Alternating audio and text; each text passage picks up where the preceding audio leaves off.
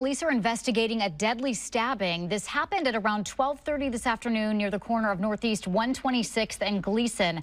Portland police say they responded to the reports of the stabbing and found a man dead inside a home. No arrests have been made, but officers are speaking with witnesses to learn more.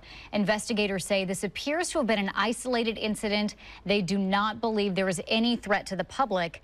Gleason is currently closed between Northeast 124th and 128th for this investigation. Anyone with information about what happened should call Portland Police.